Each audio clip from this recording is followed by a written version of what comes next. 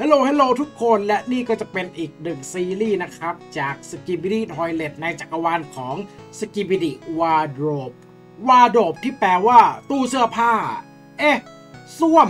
ไปตู้เสื้อผ้าแล้วเหรอ มันจะเป็นยังไงนะ ไปดูกันดีกว่า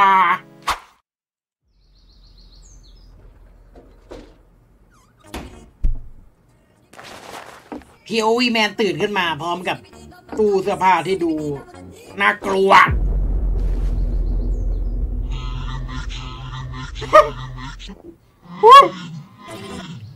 อะไรวะเนี่ย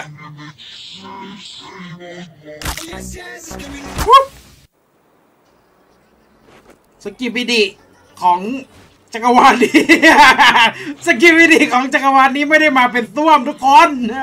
สกิบิดิจักรวาลนี้มาเป็นตู้เสื้อผ้า แล้วนั่นคือเซ็นเซอร์หน้าทำไมอะ มาเป็นตู้เสื้อผ้าเลยทุกคนทุกคนดูนั่นเส โอ้ยอะไรวะเนี่ย ตลกดีว่ะแต่ก็ประหลาดไปใน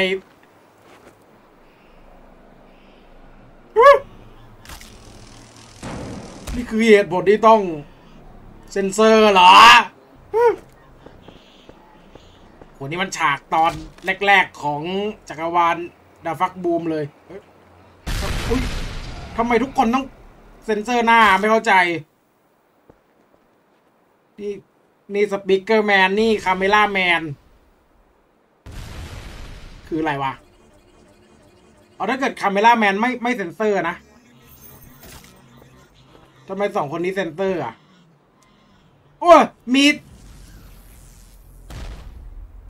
มีดโจรสลัดโอ้ย อันนี้อะไร ไททันโอ้แกตายแน่ แกไม่รอดแน่ คนอะไร แกไม่รอดแน่ คนตู้เสื้อผ้า เย้เปล่าว่านะ ใครก็ตามที่โดนเซ็นเซอร์หน้านี้คือต้องตุยแน่เลย ต้องตุยใช่ไหมอืมมา ชอบว่ะชอบท่าเดินของจักรวาลเนี่ยกระโดดเข้าไประเบิดตู้เสื้อผ้า โอ้ยังวะนะ อือแหมเดินสบายสบายก็คือ Titan Titan Cameraman เนี่ย เออเอาอีโอ้โอุ้ยอุ้ยต่อยเก่ง ต่อยเก่ง ไม่มีอาวุธเลยนะ ใช้หมัดตู้อย่างเดียว ตู้เสื้อผ้าตอร์ปิโด ตู้เสื้อผ้ามิสไซล์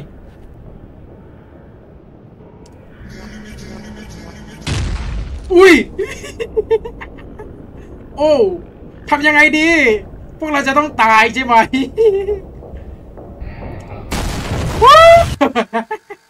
เละเละโอ้คือเหมือนกับ Skibidi โอ้โหไปติดปืนแล้วว้ยติดปืนแล้วมีระเบิดด้วยโอ้โห Titan Speakerman เหรอเนี่ย Titan Speakerman จักรวาลนี้คือโหดกว่า Titan Camera เอาเอาเออ เอางง คือไอ้ Skibidi Toilet ของจักรวาลเนี่ย มันไม่มีจุดอ่อนเลยคือต้องฆ่ามันอย่างเดียวเท่านั้นนะ อย่างจักรวาลโถส้วมคือกดส้วมไปมันก็ตายใช่ไหมไอ้นี่คือแบบมันต้องแบบทำให้มันเละไปเลยอะ มันถึงจะตาย มันไม่มีจุดอ่อนนะ มันเก่งกว่าโถส้วมตรงนี้แหละ เพราะนี่ไง ต้องยิง ต้องระเบิดมันให้ตุย แล้วนั่นไมโครโฟนเหรอ ไมโครโฟนแมน ว้าว โอเค อะ มาตอนที่หกกันต่อ เมื่อกี้มันคือตอนที่หนึ่งกับตอนที่ห้านะ นี่เหมือนพี่รอง พี่รองยังไม่หยุดอยู่แค่นั้นไอ้พี่รองจักรวาลนี้เป็นเป็นสีน้ำเงินเว้ย ปกติสีประจำตัวของพี่รองจะเป็นสีแดงนะ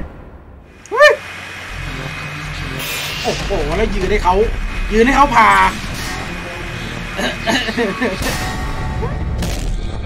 โอ้ยนี่ไง เป็นสปีกเกอร์ก็ต้องใช้พลังสปีกเกอร์บ้าง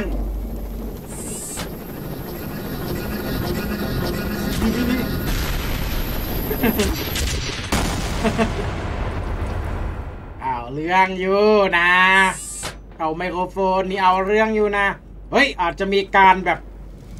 รวมพลังกับเขา speaker ใช้พลังโคตรพระเจ้าเสียงต่อสู้กับพวก Skibidi Toilet คิดว่าจะเป็นอย่างนั้นไหมทุกคน ไมโครโฟนตะโกนเข้าไป เราใช้ speaker ขยายเสียงว้า เป็นพลังโคตรไมโครโฟน sound wave speakerแอนิเมชัน Skibidi of universe นี่ ชื่อพลังอย่างยาว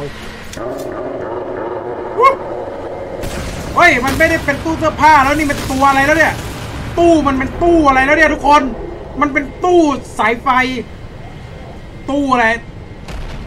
ตู้ safety cut อะเอา โอ้โหยังสู้อยู่ พี่ลองยังสู้อยู่ นึกอะไรไม่ออกเอาพี่ลองมากระตืบนะ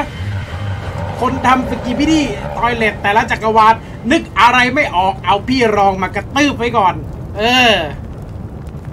นึกอะไรไม่ออกก็นั่นแหละ ตามนั้นนะ พี่รองลูกเมียน้อยเฮ้ยมันลืมตา ลืมตาข้างเดียว มันลืมตา คืออะไรลืมตาแล้วยังไง ไอ้พวกที่ตาสีเหลืองนี่คือ เนี่ยมันจะมีตาแบบมนุษย์กับตาเหลืองๆเนี้ย อ่ากลับมาแล้วอู้อัปเกรดมาพี่ใหญ่อัปเกรดเป็นพี่ใหญ่กับพี่รองที่ไม่ค่อยคุ้นเคยเท่าไหร่จักรวาลนี้โอ้เอาเรื่องอยู่นะ ดีไซน์นี่ใช้ได้อยู่นะ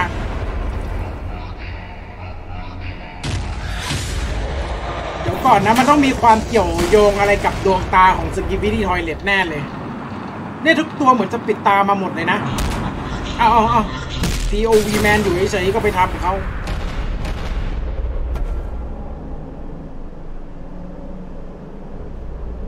อืมนี่ไงเหมือนกับพวกที่ไม่ใช่ตาเป็นสีๆอะ จะไม่ถูกควบคุม เอาและเป็นอีกหนึ่งจักรวาลที่ Skibidi Toilet ร่วมมือกันกับฝั่งอาริ a นส์เราได้เห็นบ่อยๆแล้วนะตั้งแต่ซอมบี้ยูนิเว r ร์สแล้วก็ดันมาถึงเวอร์แลนส์ก็เป็นพวกเดียวกันแล้วนะ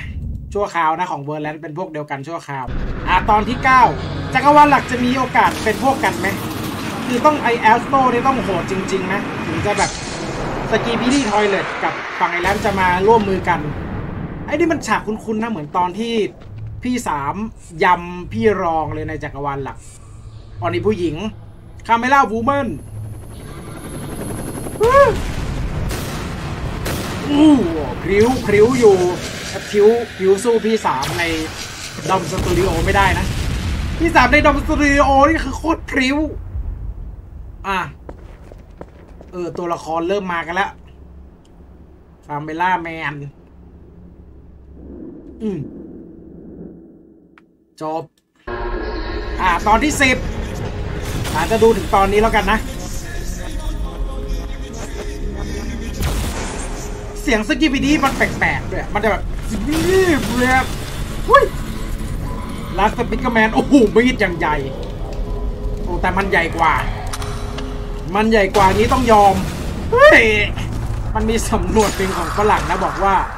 อย่าเอามีดไปสู้กับ อย่าเอามีดไปสู้ในสงครามปืนของจริง แต่นี่มีดชนะก็เป็นไง มีดโหด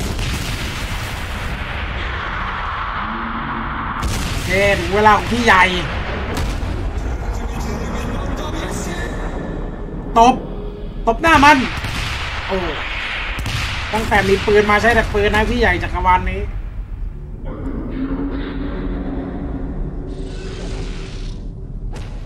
ไอ้นี่ตาบอดไปแล้วอะไรอะ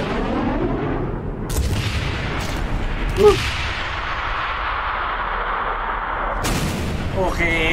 ตายได้สักที เอายังไม่ตายอีก ยังไม่ตุยอีกมันหนีได้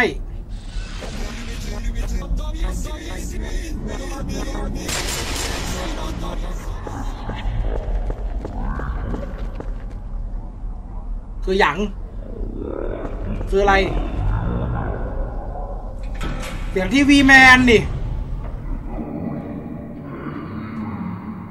โอ้ตอนหน้า TV man มาแน่เลยทุกคน เอาละก็จบลงแล้วนะครับสำหรับการ reaction s k i b i d y Wardrobe เป็นจักรวาลที่ค่อนข้างประหลาดที่สุด เท่าที่ป๋าเคยดูมาเลยประหลาดจริง ๆ แต่ก็เออ creative ดีนะ มันไม่ใช่ Skibidi Toilet นะทุกคน มันเป็น Skibidi ตู้เสื้อผ้า คน หัวตู้เสื้อผ้าเออเออเดี๋ยวป๋าทิ้งลิงก์ผลงานของเขาไว้ให้นะครับ แล้วถ้าชอบคลิปนี้ก็อย่าลืมกดไลค์ กดแชร์ กด Subscribe ด้วยแล้วเจอกันคลิปหน้า สวัสดีครับ Pew